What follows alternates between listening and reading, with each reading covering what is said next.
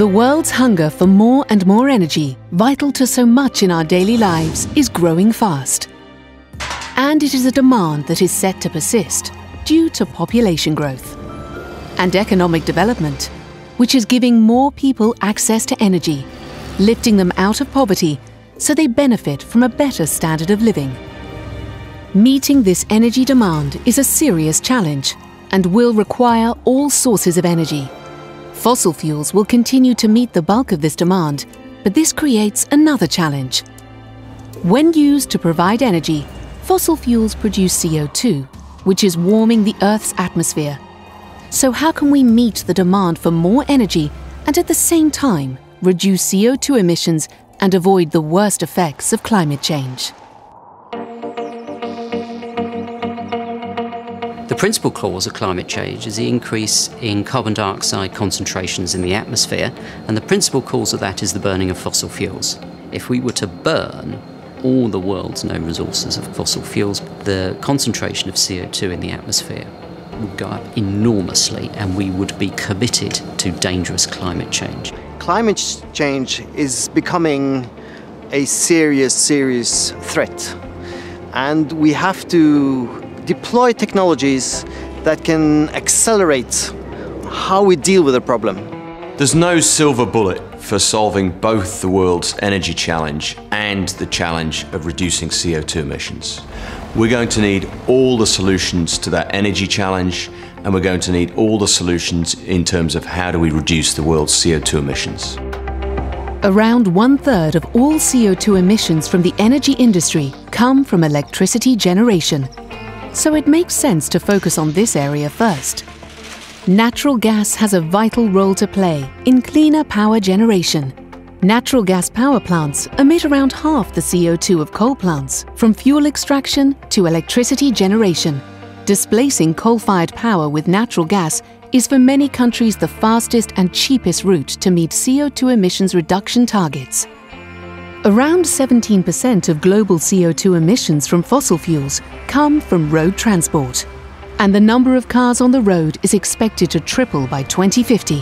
Hybrid, electric and hydrogen vehicles will become more common over the coming years, but most cars and trucks will continue to use petrol and diesel. But for now, along with vehicle technology improvements, the use of sustainable biofuels offers the most practical commercial way to reduce CO2 emissions from our roads over the next 20 years. More natural gas and biofuels can help cut CO2 emissions today. Looking ahead, a technology which has huge potential to reduce CO2 emissions is carbon capture and storage, or CCS. Many believe CCS has a critical role to play in reducing CO2 emissions since it captures CO2 from burning fossil fuels. But what is carbon capture and storage? It's where you take a power station that's burning, say, coal or natural gas, or an industrial plant that produces a lot of carbon dioxide, use chemical processes to separate out the CO2 from the exhaust stream of your factory or power station you then transport it and inject it deep underground. Say you have a smokestack uh, coming out of a, a power plant or, or, a chemical factory or a refinery. And uh, the idea is that you separate the carbon dioxide from the other gases that are coming out. And the way we do that is we uh, take uh, basically liquid that uh, is really good at absorbing carbon dioxide. And then you can put it into pipelines and then you can transport it. And then finally you go to a place where you've got a well and that you then um, start to pump it underground and that you put it into a formation that is a porous rock.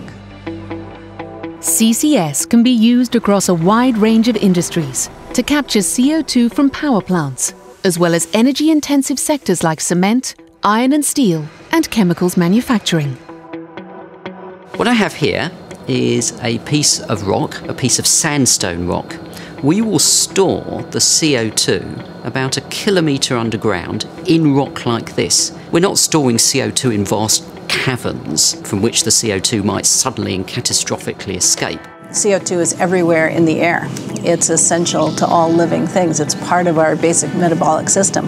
So, from that perspective, is it poisonous? Well, no, of course not, because it's everywhere around. The technology for CCS has been used and demonstrated in the oil and gas industry for decades.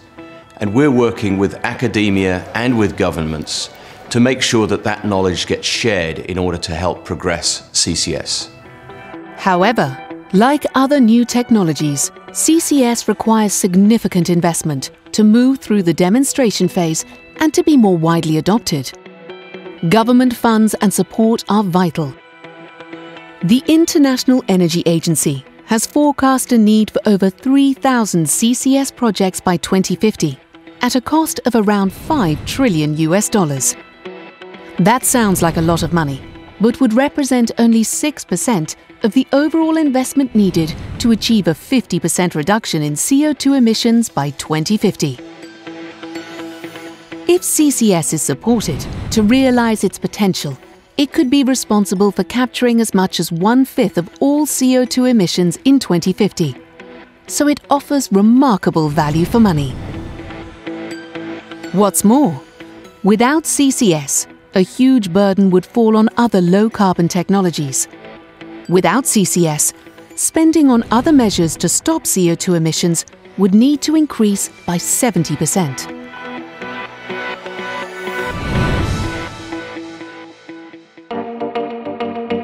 The developed world needs to take the lead in supporting CCS in the next decade.